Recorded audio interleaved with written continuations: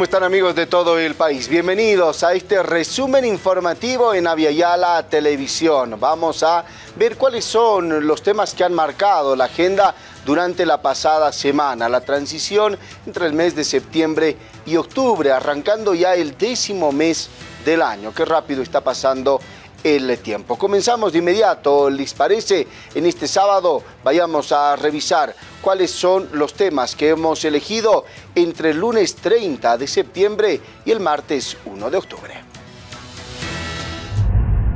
Debido a la magnitud de los incendios, el presente decreto supremo tiene por objeto declarar situación de desastre nacional en el marco de la ley número 602 de 14 de noviembre de 2014 de gestión de riesgos.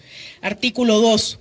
Declaratoria de desastre nacional. Se declara situación de desastre nacional a causa de la magnitud e impacto de los daños causados por la presencia de incendios en el territorio nacional conforme a la ley número 602. Artículo 3. Áreas de intervención el nivel central del Estado y las entidades territoriales autónomas aplicarán las acciones de respuesta y recuperación de los sectores y población afectadas por el desastre declarado a causa de los incendios, conforme al parágrafo 2 del artículo 40 de la ley número 602. Artículo 4. Gestión de cooperación internacional. Numeral 1. El Ministerio de Relaciones Exteriores y o el Ministerio de Planificación del Desarrollo en coordinación con los ministerios que correspondan, gestionarán y canalizarán la cooperación internacional para la atención del desastre. Llevemos y hemos aprobado este decreto número, ministra, 5235, que es el de declaratoria de desastres nacionales, para que podamos activar todo lo que esté en nuestras manos para poder enfrentar esto de los incendios que nos viene preocupando no ahora, sino hace tres meses atrás que venimos en esta batalla. Que el Gobierno Nacional el pasado 11 de septiembre ya envió a la Asamblea Legislativa Plurinacional un proyecto de ley de contrato de crédito para estas emergencias. Y también lo hicimos, como informaba el anterior miércoles nuestro ministro de planificación, dos, un crédito más, por lo tanto, son dos créditos que están en este momento en la Asamblea Legislativa Nacional que se pueden utilizar para atender esto. Estamos hablando de cerca de 75 millones con la Corporación Andina de Fomento, que está en la Asamblea Legislativa desde el 11 de septiembre, y desde la anterior semana está el crédito con el Banco Interamericano de Desarrollo con 250 millones de dólares. Estos recursos los necesitamos para contratar más aviones que están siendo efectivos en la lucha contra el incendio, en la compra de más cajas, guardián, en fin, de equipar algunas aeronaves de nuestra Fuerza Aérea, la incorporación de un nuevo avión Hércules también a la tarea de combatir estos incendios, de adaptar un helicóptero nuestro de presidencia para que sea utilizado como un helicóptero ambulancia, de hacer las atenciones en salud que necesita el pueblo boliviano que está siendo afectado, en la reconstrucción de aquellas viviendas que fueron dañadas o que se han visto afectadas por el fenómeno, de movilizar a las tropas de nuestro Ejército Nacional, la Policía Boliviana, en incrementar efectivos para el combate en esta lucha contra los incendios, en fin, garantizar la seguridad alimentaria en varios de los puntos donde las bolivianas y bolivianos hoy están siendo afectados, se requiere pues recursos. Los recursos están ahí en la Asamblea Legislativa Plurinacional, por lo que exhortamos a todos los asambleístas nacionales, diputados, senadores, que los hemos visto haciendo declaraciones a los propios medios de comunicación donde estaban y mostraban su preocupación por estos incendios, donde estaban allí pidiendo que el gobierno nacional declare el desastre natural, eh, perdón, nacional, y que por supuesto está ahora en sus manos poder habilitar estos recursos que ya con anticipación fueron enviados por el gobierno nacional preveyendo que se podía dar este tipo de situaciones. Tardía declaración de desastre nacional eh, además acarrea responsabilidad administrativa del presidente y de todo su gabinete. Y por supuesto esto no va a devolver los casi 10 millones de hectáreas quemadas y toda la flora y fauna que se ha consumido en las llamas. Por lo tanto, hay responsabilidad.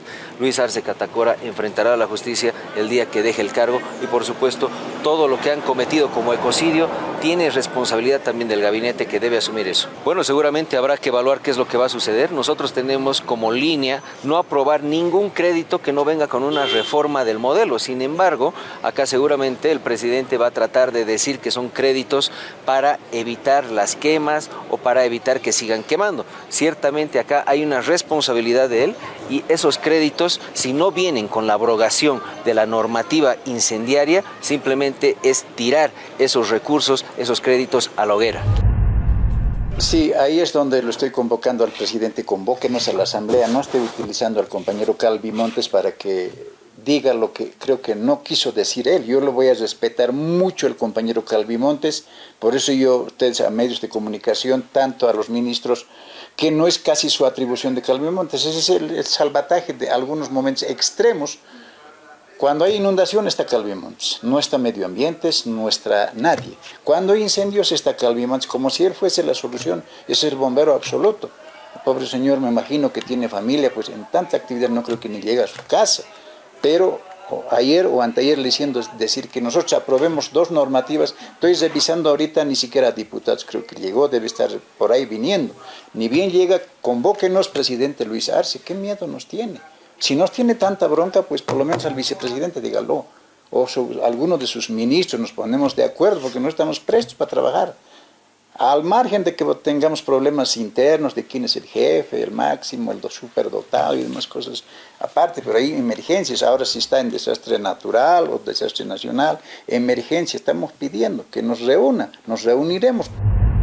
Los reportes y el monitoreo que hemos realizado inmediatamente a la media hora de haber implementado esta tecnología ya se veían los resultados satisfactorio, sobre todo eh, en, esta gran necesidad que tenemos del eh, recurso hídrico y ya muchos eh, atajados estaban secos y esto nos alegra en gran manera, por lo menos en este sector de la agricultura van a poder preparar sus parcelas para la siembra, que aún hay algo de tiempo. por eso también la prioridad, ¿no? Y, la, y además de haber realizado estas pruebas pilotos han servido muchísimo y esto ha repercutido a nivel nacional, donde también en Santa Cruz han podido replicar, en Potosí la gestión pasada y nos están llamando también de Sucre. ¿Cuál es nuestra experiencia? Y contentos de que se lleve a cabo esto, sabemos que no va a ser la primera ni la última, sino que eh, vamos a continuar con esta tarea. Hay mucha predisposición de defensa civil.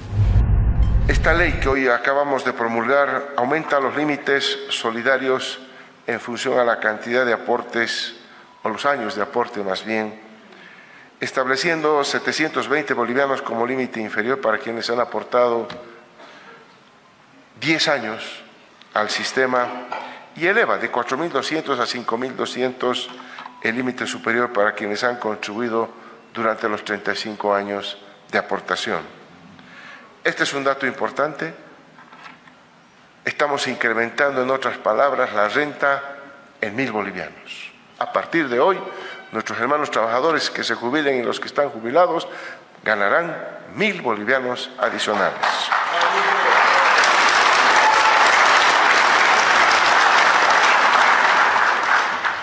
Este trabajo, como lo mencionaba nuestro ministro de Economía, ha sido un trabajo técnico en función de los cambios que han habido y que no se pueden negar durante los años de la pandemia, donde hubo una ley donde se autorizaba a quienes querían, podían hacer retiros parciales de sus aportaciones al sistema de pensiones, lo que desequilibraba las finanzas de la gestión de pensiones. En ese acuerdo habíamos eh, establecido establecer justamente con la Central Obrera un límite de edad máximo para acceder a la jubilación que era de 65 años, que algunos sectores, especialmente médicos, se habían puesto ahí en concomitancia con diputados, senadores de la oposición, de la derecha, de no aprobar ese artículo y que nosotros tuvimos que ceder, como decía al principio de mi alocución, para poder garantizar la aprobación en función del bien mayor, que es de beneficiar a todos estos trabajadores que hoy por hoy se están beneficiando.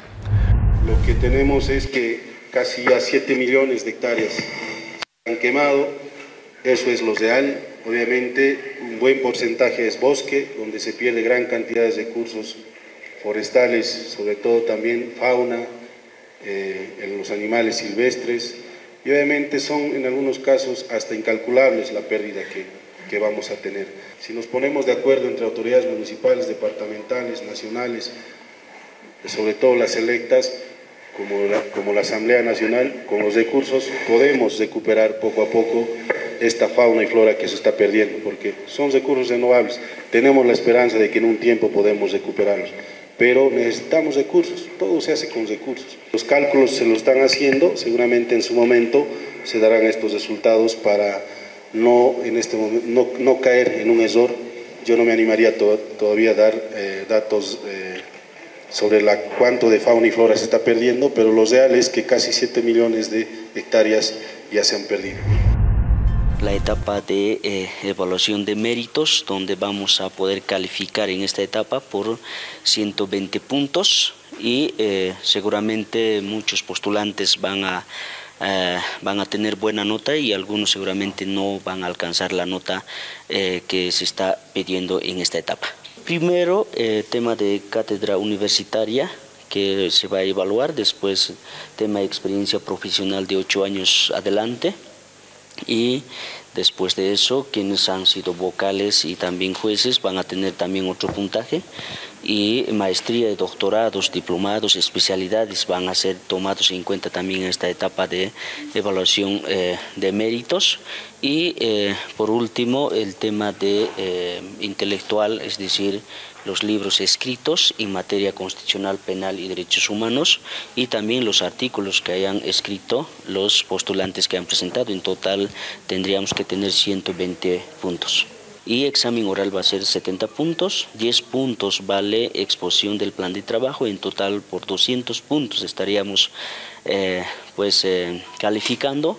Y también la ley dice que 130 eh, puntos arriba ya estarían calificados para ser seleccionados como fiscal general del Estado, pero también nos dice que si es que pasamos el número de máximo de 10 postulantes, pues eh, vamos a tener, que ajustarlo donde los mejores notas que tengan van a ser eh, seleccionados para la última etapa que es designación del fiscal general del Estado. Para bien de México, de todas y todos, vamos a continuar con el humanismo mexicano, con la cuarta transformación. Resumo algunos de los que considero sus principales principios. Uno, para que haya prosperidad debe ser compartida, o dicho de otra forma, por el bien de todos, primero los pobres. Dos, no puede haber gobierno rico con pueblo pobre. Esta es una frase de Benito Juárez García, que los gobiernos de la transformación hacemos realidad y que sostiene que el gobernante debe vivir en la justa medianía, sin lujos, parafernalias o privilegios, y que el gobierno no debe ser una carga para el pueblo. A eso le llamamos austeridad republicana. Y también sabemos que las mujeres podemos ser presidentas. Y con ello hago una respetuosa invitación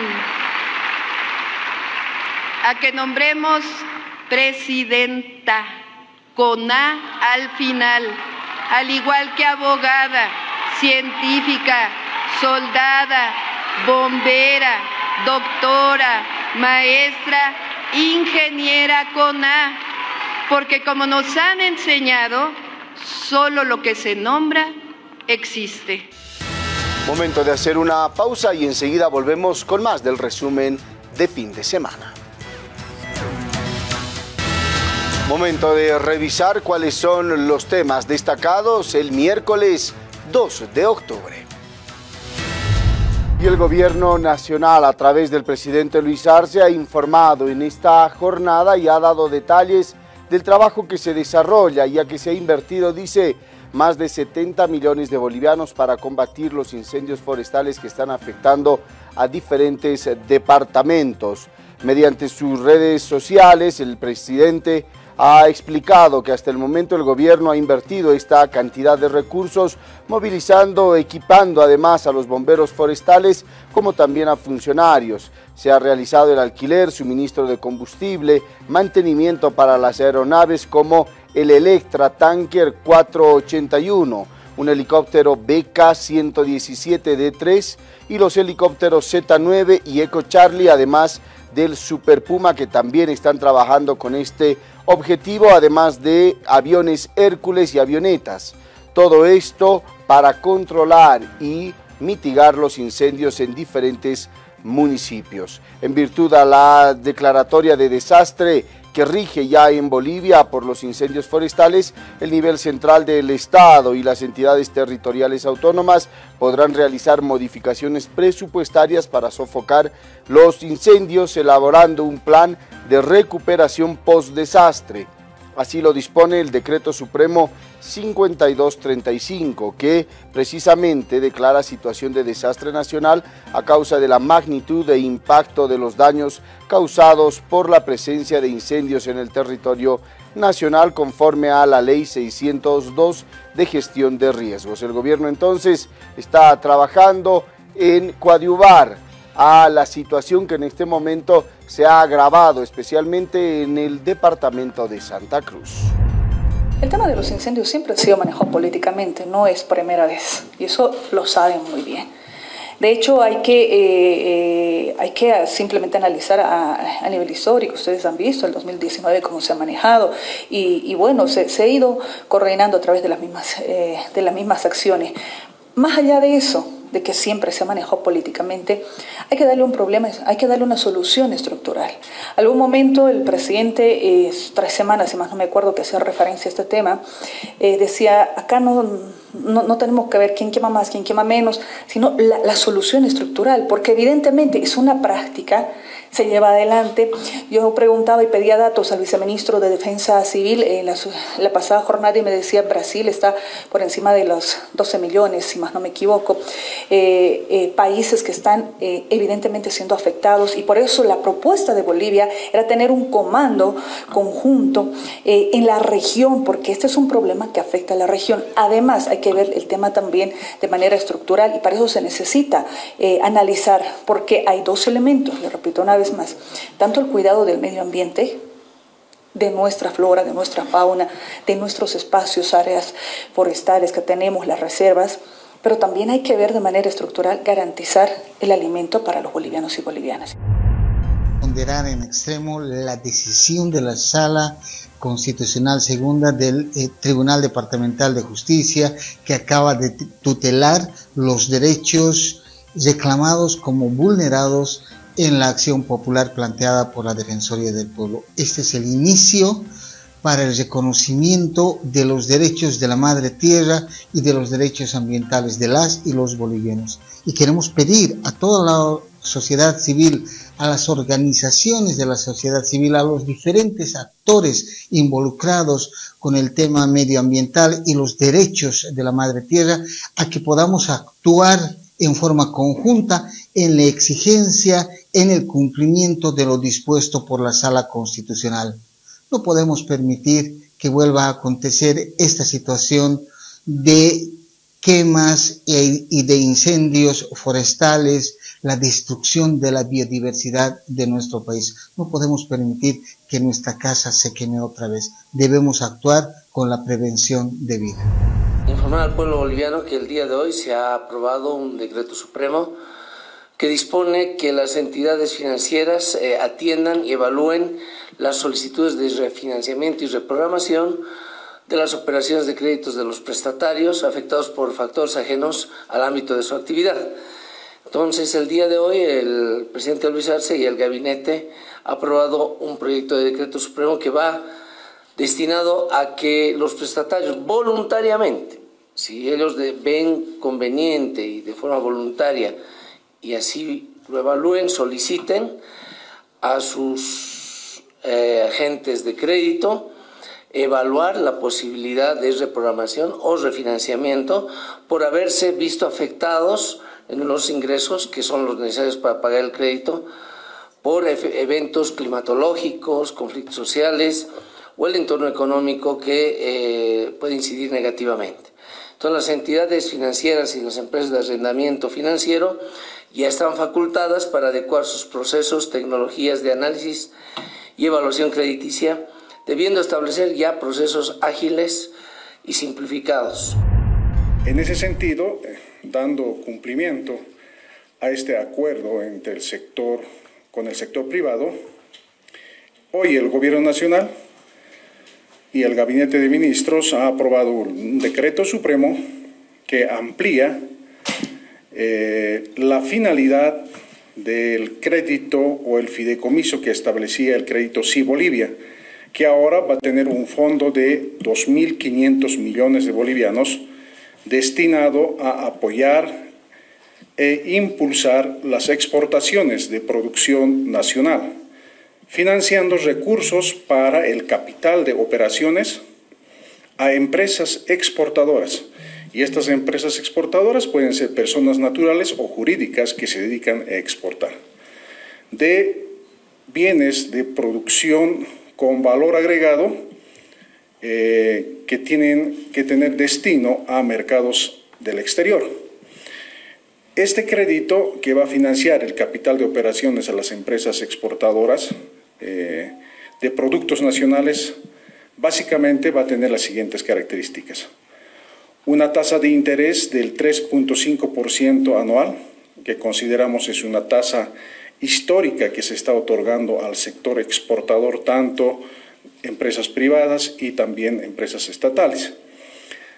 Reitero, se va a financiar capital de operaciones contra contratos de exportación y o contrato de venta. Ya parece una tradición ya para, para los bolivianos, ¿no? De que el combustible nosotros de un principio dijimos de que un día aparece y otro día desaparece y eso es lo que está aconteciendo. Pero sin embargo ellos siempre están eh, mintiéndole a la población, donde dicen de que hay especulación, ¿dónde va a haber especulación? Tendrían que revisar entonces a los surtidores. Habría que decirle, ¿no? Que nos muestre pues la, la planilla de reserva que tienen ahí en yacimiento, ¿no? Para ver si realmente se está especulando o no, porque ellos todo el tiempo ah, están mintiendo. Donde les muestren la planilla de de reserva que tenemos ahí en yacimientos, sería a las 6 de la mañana cuando antes de que entren para ver cuánto tenemos de combustible, ¿no? Entonces creo de que aquí todo el tiempo están mintiendo y nos están perjudicando como bolivianos, no solamente como transportistas, porque esto ah, es una cadena de perjuicios, porque si a nosotros nos falta el combustible, nosotros dejamos de trabajar, eh, los agricultores dejan de trabajar, las industrias, las empresas, importaciones o exportaciones, todo lo que es lo que se mueve con transporte, ¿no? Entonces, en ese entendido le decimos al gobierno que ya no siga mintiendo, tiene que hacer algo, mira, venimos sufriendo ya desde bastante tiempo y así nos vienen manteniendo, regulando, regulando, entonces creo que esa no es la solución, no tienen la solución y creo que eso tienen que aceptarlo, ¿no? La Cámara de Industria y Comercio de Cochabamba se ha declarado en estado de emergencia ante la falta de dólares en el mercado local. Hasta la fecha, afirma no haber logrado una reunión con el Ministerio de Economía para abordar este problema, lo que está generando una creciente preocupación en el sector empresarial. Salir de la crisis para estabilizar la banca y estabilizar el dólar. Eso no ha sucedido. Hoy, primero de octubre, tenemos que decir que eso no ha sucedido. Nosotros nos estamos juntando, todas las cámaras eh, de industria y comercio de Bolivia, nos estamos juntando este jueves a las 5 de la tarde para hacer una evaluación exactamente de qué ha sucedido, dónde estamos y qué posición vamos a asumir. Hoy, en resumen, eh, no, ha, no ha habido una, una, reunión comprometida y tampoco ha llegado el crédito. Por lo tanto, eso nos preocupa mucho. La escasez de divisas extranjeras está afectando incluso a las transacciones más simples, complicando la importación de bienes y el pago de servicios internacionales y otras operaciones comerciales. persona, eh, nosotros tenemos los Facebook empresariales y hay que pagar la publicidad, hay que pagar eh, Instagram, Facebook, ahora TikTok, que ya se puede pagar y no no se puede con la tarjeta. ¿Eso por qué? Porque los dólares no tienen, perdón, los bancos no tienen los dólares suficientes para sustentar esas transacciones. Esto estoy hablando de las transacciones más simples. Ahora pensa una empresa X que tiene que traer medicamentos, valor de 500 mil dólares. ¿De dónde sacas los 500 mil dólares para hacer eso? ¿Cómo haces para que la banca te gire esos 500 mil dólares? Y si logras conseguir, ¿a qué precio te lo giran?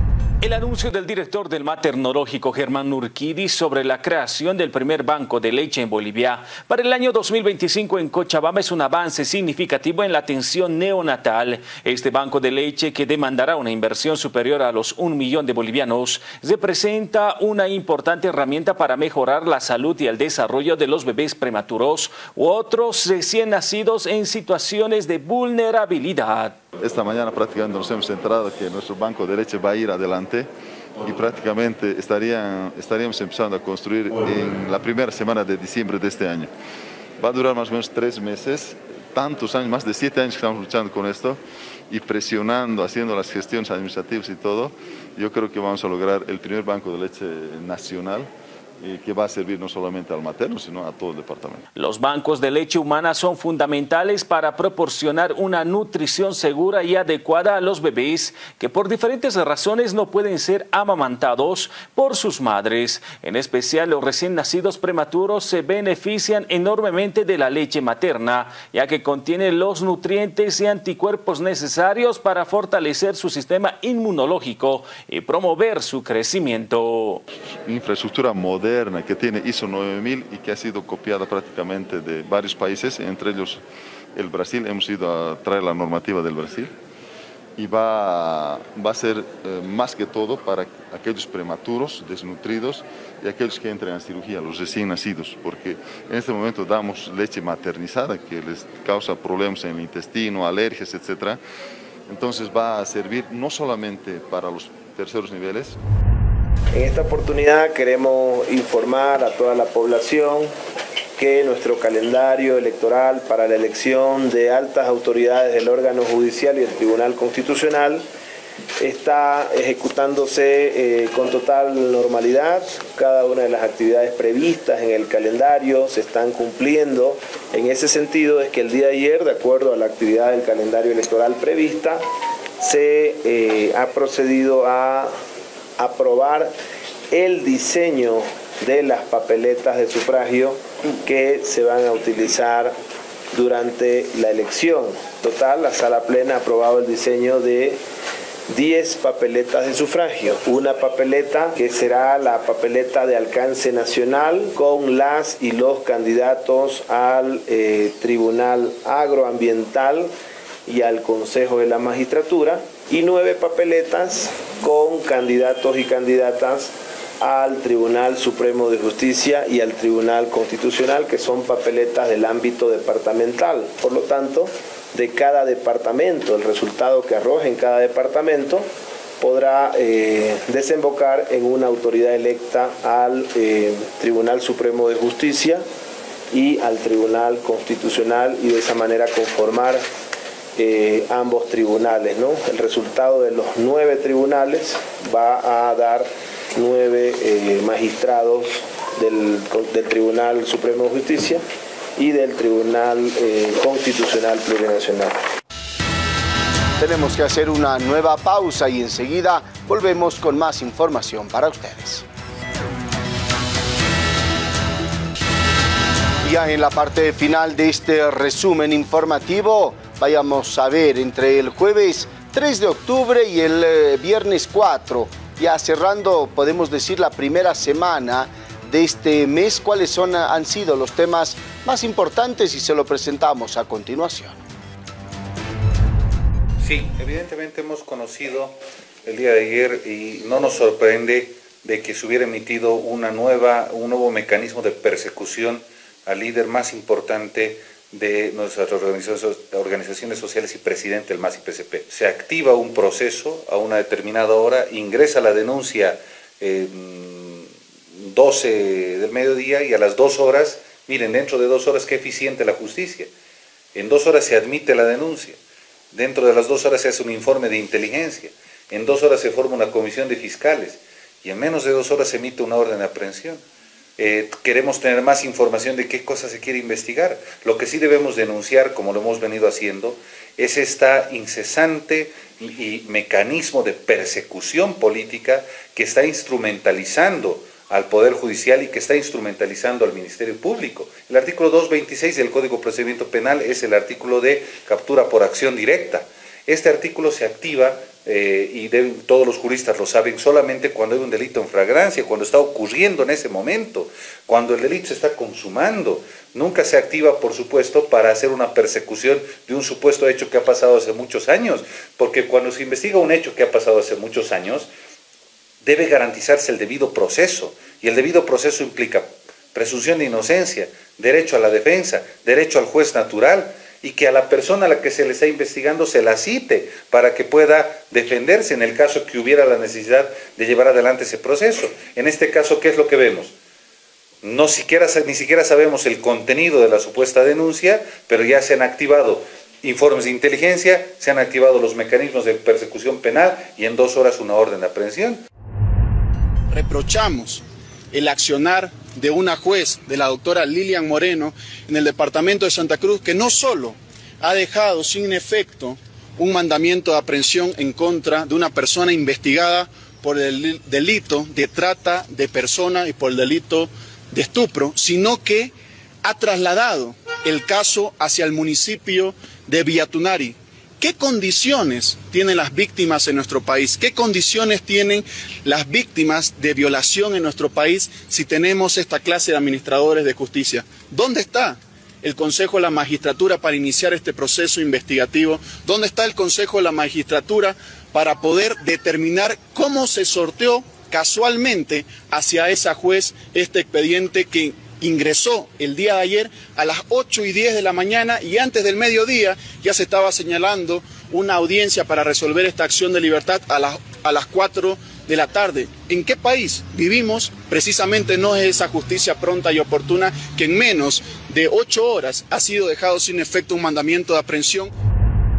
Mi autoridad en condición de fiscal general del Estado en uso de mi atribución específica prevista en el artículo 30, número 9 de la Ley Orgánica del Ministerio Público, instruí la conformación de una comisión de fiscales especializados con personal de la Dirección de la Fiscalía Especializada en Delitos en Razón de Género para el apoyo y fortalecimiento de la labor investigativa que venía desarrollando los fiscales del Departamento de Tarija precauterando que dicho proceso se lleve en el marco del debido proceso, el respeto al principio de objetividad del Ministerio Público y garantizando la no revictimización.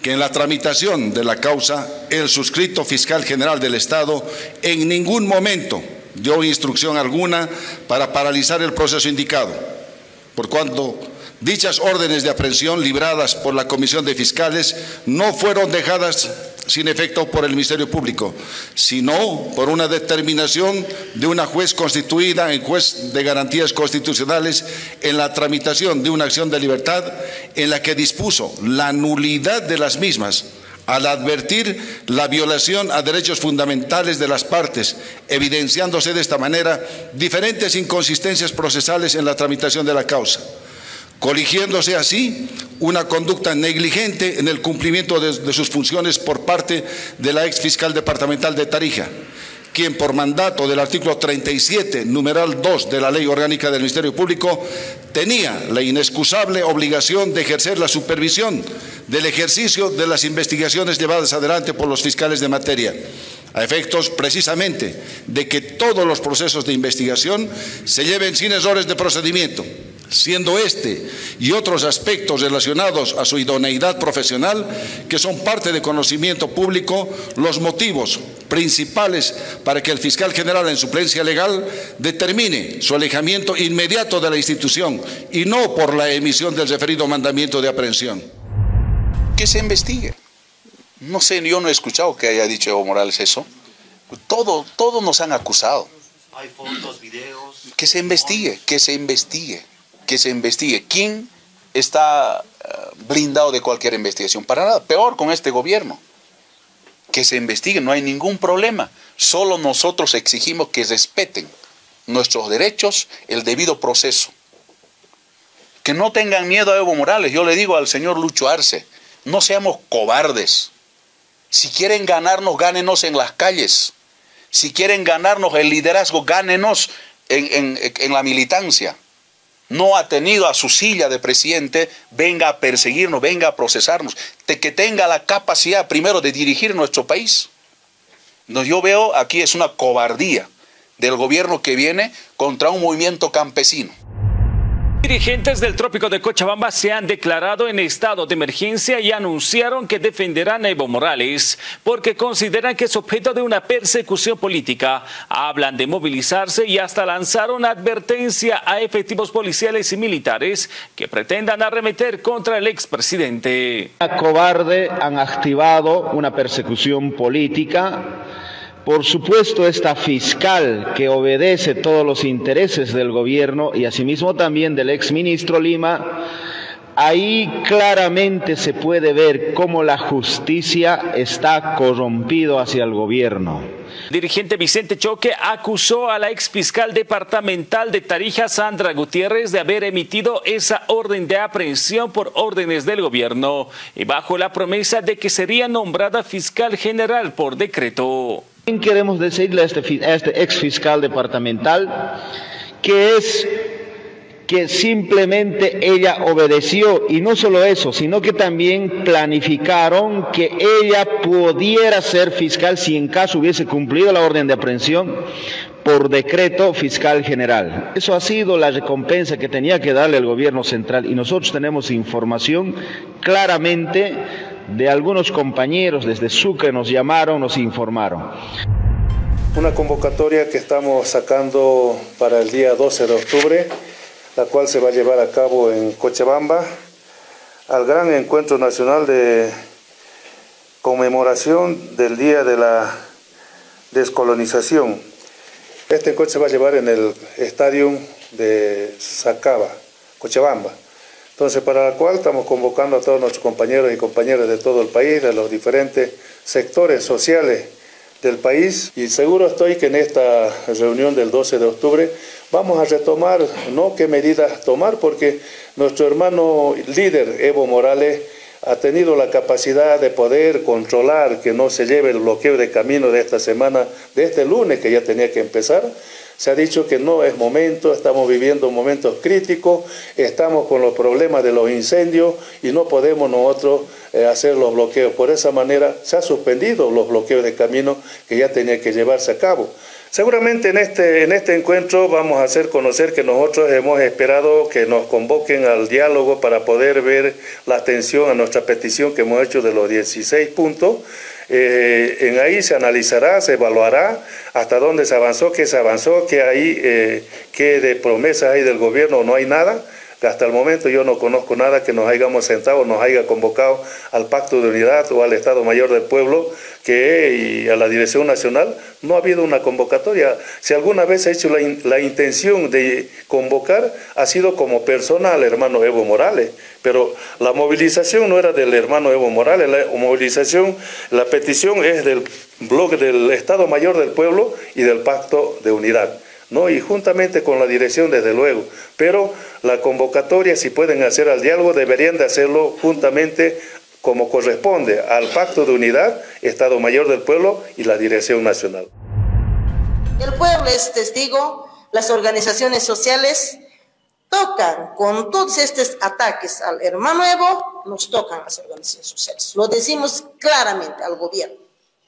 Asuma su responsabilidad estará midiendo las consecuencias. Estamos diciendo, claro, el 26 nos ha costado a nosotros, escuchando a los sectores más pobres, hemos dejado cuarto intermedio nuestro bloqueo nacional. Hubiera sido contundente, todo el país hubiera estado pero hemos pensado en la gente pobre, que este gobierno nos resuelva hasta el momento. Si tienen en minutos, en horas, para poder atacar al hermano, al hermano compañero Evo Morales, si no tienen capacidad para resolver los, los eh, temas estructurales del país. Por eso, para ustedes, incapaz, yo sé que va a continuar cualquiera con nosotros con acusaciones, con persecución política, lo van a hacer, pero nuestras bases permanentemente me están llamando de todo el país a mí, hermana Juanita, ¿qué está pasando? Este gobierno ya se pasó, Sabemos que nuestra marcha ha sido contundente y legal, no está habilitado el hermano Evo, están buscando, basta, necesitamos una convocatoria, saquen, caso contrario, hasta podemos ir encima de nosotros, pueden venir.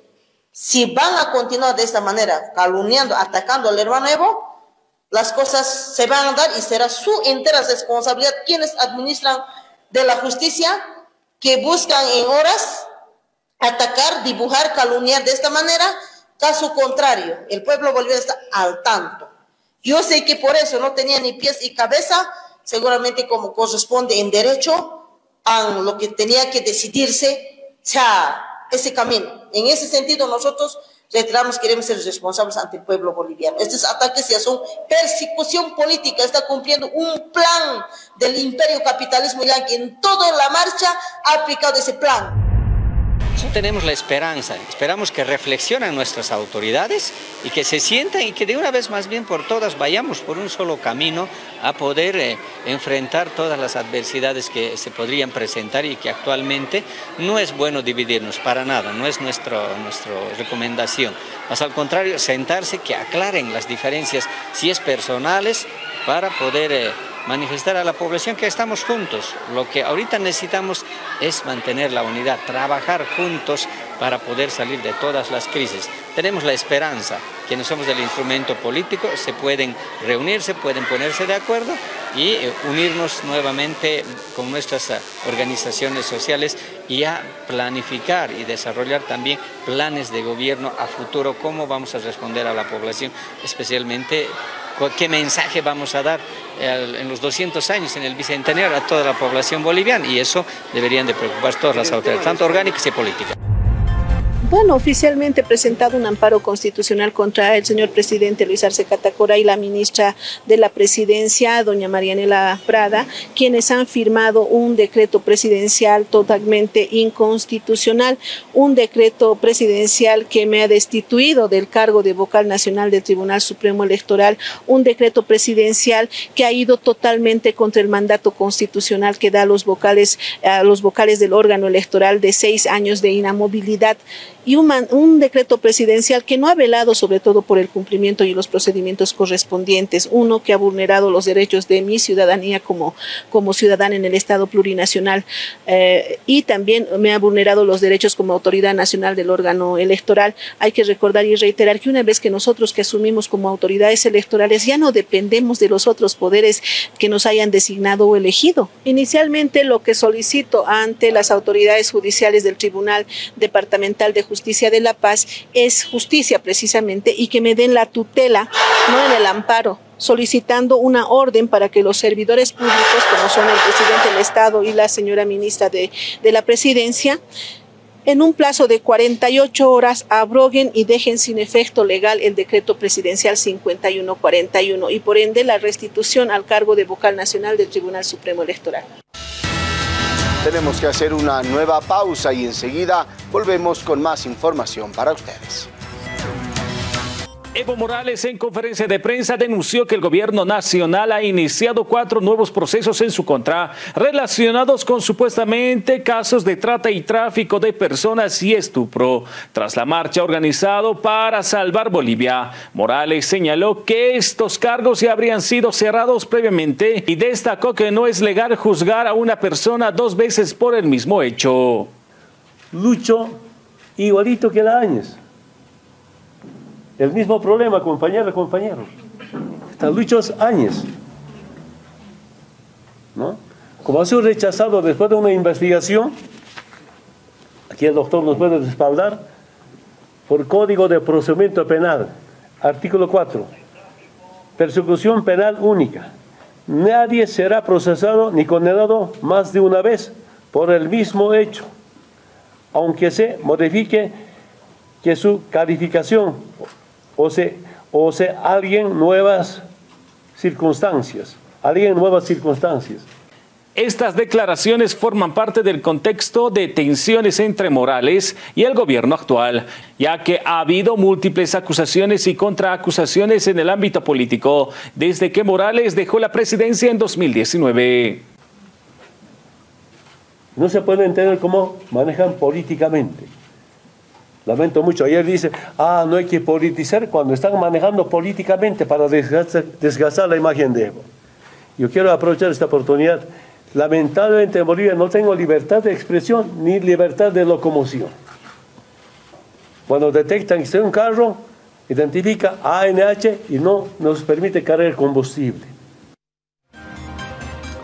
Y también el expresidente Evo Morales ha denunciado que el gobierno nacional tiene la intención de extraditarlo a Estados Unidos eh, juntamente con Maximiliano Dávila, tratando de involucrarlo con diferentes casos. El exmandatario de Estado Evo Morales denunció que el gobierno nacional pretende extraditarlo a los Estados Unidos juntamente con Maximiliano Dávila, ex jefe de la Fuerza Especial de Lucha contra el Narcotráfico, tratando de involucrarlo en diferentes hechos. Morales aseguró que estas acciones buscan deslegitimar tanto su figura como la del movimiento al socialismo. Pero el ministro de Gobierno en una reunión con los miembros de la justicia boliviana, ¿qué dijo? Detener a Evo va a ser insostenible en Bolivia. Mejor es al, al exterior. ¿Qué está insinuando? Está insinuando llevarme fuera de Bolivia. Pero también, así como la Áñez, me investigaron compañeros, compañeros de tema corrupción, narcotráfico, no encontraron nada. Morales afirmó que el gobierno tiene la intención de proscribir la sigla del MAS, lo que implicaría una medida política para eliminar al partido en las próximas contiendas electorales. En respuesta instó a las organizaciones sociales y a sus seguidores a mantenerse en alerta y a movilizarse en defensa del MAS. ¿Qué, es, qué es el objetivo de lucharse? ¿Cómo? Proscribir al MAS y PSP e inhabilitar al Evo, con cualquier calumnia, con cualquier pretexto. ¿El pueblo de qué está preocupado? El pueblo está preocupado, compañeras, compañeros, cómo resolver el tema combustible, cómo parar este problema económico. Pese de que ustedes saben de que dentro de lo que es la constitución política del Estado, legalmente, constitucionalmente, Evo Morales está habilitado. Ahora, claro, políticamente quieren inhabilitarlo, ahora quieren con procesos, así como en su momento ya te decía, el tema de lo que es Quirovax o el tema de lo que es Zapata y ahora con el tema de lo que es eh, los certificados, está intentado nuevamente inhabilitar, pero yo creo que con el pueblo no va a poder. Acá el soberano se respeta, la mayoría se respeta, más bien creo que ahí Lucho Arce está equivocándose, más bien en el poco tiempo que le queda ya debía estar buscando respuestas eh, las demandas, las necesidades, porque acuérdense, acuérdense de mí, mañana pasado a haber problemas de protestas. Y eso no es culpa del compañero Evo o de las organizaciones. Desde la Fiscalía General advertimos irregularidades graves en la tramitación del caso. Uno de los primeros indicios de estas irregularidades fue la observación de que en el ecosistema justicia libre no se habían cargado las actividades investigativas, incluida la orden de aprehensión. Segundo, ya constituidos en la Fiscalía Departamental de Tarija, no se advierte ninguna orden de aprehensión en el cuaderno procesal, es decir, el cuaderno de investigación. Habiendo informado la fiscal a cargo del proceso que una vez emitidos y firmadas esta orden de aprehensión, además de la resolución de aprehensión, y en recepción por la policía, de manera inusual, estos fueron exigidos por la entonces fiscal departamental, la señora Sandra Gutiérrez, quien los retuvo desde el inicio de la investigación cuando ya habían sido emitidas estas órdenes, ya que los tenía en su poder por más de cinco días. Además de la revisión eventual de la orden de aprehensión, se evidencia otro error fundamental.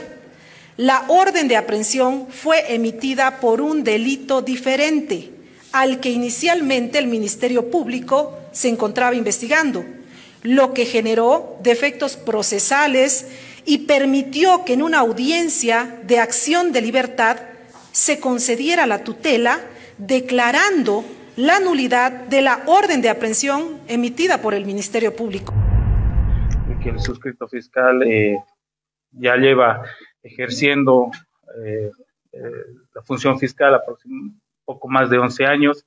hemos conocido varios aspectos durante todo este tiempo y ahora pues nos toca asumir lo que es la responsabilidad de, tener de llevar adelante lo que es la Fiscalía Departamental de Tarija. bueno, hemos convocado a lo que es esta conferencia de prensa justamente también para referirle a la población las circunstancias ¿no? en las que se hubiera determinado, eh, que bueno, ya son de conocimiento en las redes también, pero es necesario que también nosotros nos pronunciemos ante la sociedad para que tengan conocimiento de cuáles han sido las circunstancias en las cuales se ha generado, eh, bueno, el apartamiento de la doctora Sandra Gutiérrez del Ministerio Público, como así también, obviamente, el, el, proceso en el cual eh, se ha generado muchos comentarios y que también estamos aquí juntamente con la doctora Pamela Obando, quien es fiscal de materia, eh, adjunta a lo que es la División de Trata y Tráfico de Personas, eh, que obviamente eh, su condición de fiscal asignada a esta unidad, ella tiene conocimiento pleno de este, de este proceso. por lo cual consideramos como Ministerio Público de que siempre se ha obrado y se ha actuado dentro de lo que las normas se señalan. El senador del MAS, Leonardo Loza, defendió al fiscal general del Estado, Juan Lanchipa, afirmando que su actuación fue estrictamente jurídica y en respuesta a la justicia. Tras la destitución de la fiscal departamental de Tarija, esto ocurrió luego de que esa fiscalía emitiera una orden de aprehensión contra Evo Morales, la cual no se ejecutó debido a que se dio paso a una acción de libertad que protegió al expresidente. Yo creo que Lanchipa responde a la justicia responde a la verdad. La Anchipa no tiene por qué responder a ningún interés político ni favores políticos, para nada, no tiene. Solo debe responder a la verdad, a la justicia y al pueblo boliviano. Yo hace rato decía, si uno se comporta mal en su trabajo, no cumple como corresponde a su trabajo, no hace como corresponde a su trabajo, no le voy a ir a felicitarle con, flores. Según Loza, no tiene relación con favores políticos hacia Morales. El senador descartó cualquier tipo de intervención política en la decisión, asegurando que la Anchipa ha actuado conforme a ley. En cualquier trabajo, el que trabaja mal, el que no cumple su trabajo, es sancionado hasta, hasta en mi sindicato. El dirigente que se comporta mal, ese dirigente es expulsado. Así nomás es la vida. Entonces yo creo que el señor Lanchipa no, no debe favores a nadie, ni a la derecha ni a la izquierda, solo él se debe a la verdad y a la justicia. Por mayoría, el proyecto de ley 562 de Programa de Apoyo a la Gestión de Riesgos ante Eventos Adversos del Clima que aprueba un contrato de préstamo por 75 millones de dólares por parte de la Corporación Andina de Fomento ha sido eh, aprobado. En la sesión del pasado jueves, los legisladores lograron que se incluya en la agenda este proyecto de crédito que originalmente no figuraba en el orden del día. Sin embargo, hubo mucho debate y discusión respecto al tema, pues los diputados de oposición Comunidad Ciudadana y Creemos pedían que se trate la abrogación de los denominados leyes incendiarias en eh, la Asamblea Legislativa. Asimismo, en medio de protestas y abucheos, el ministro de Planificación del Desarrollo, Sergio Cusicanqui, se hizo presente para explicar los alcances del proyecto, ya que existía la desconfianza de que el gobierno desviara este dinero. Los asambleístas coincidieron en que el crédito ayudará a las familias afectadas por los incendios, pero calificaron la medida como tardía y afirmaron que el gobierno no tiene un plan para enfrentar la crisis ambiental y además los incendios que están creciendo cada vez más en nuestro país. Y así se ha cumplido nuestro tiempo. Como siempre, agradecerle a usted su sintonía. Que tengan un excelente resto de sábado y en cualquier momento, si así es necesario, estaremos nuevamente en sus hogares con más información. Permiso.